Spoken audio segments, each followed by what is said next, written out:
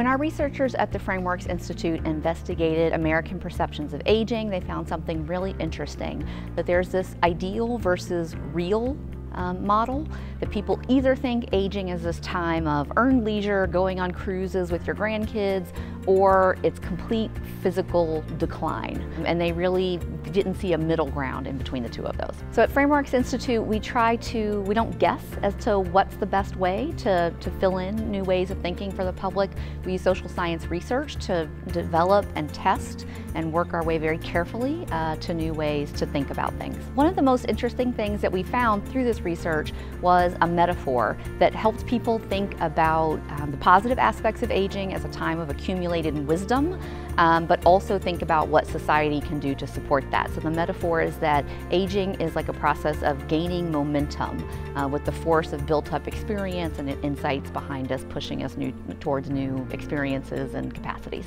Our hope at Frameworks Institute and uh, in our work with the leaders of aging organizations that, that sponsored this work is that across the aging uh, sector, the people that are working uh, in aging services and really hoping to change things for older adults, that they are able to rethink the way they talk about these issues to help um, more Americans uh, think about how we can do a better job of supporting older people. In the future, we hope to see America reshape our communities, everything from housing, health, transportation, workplace policies, to really reshape the way we think about those things to take advantage of the fact that Americans are living longer and healthier lives um, as opposed to just kind of throwing up our hands and, and thinking there's nothing we can do to, to affect things.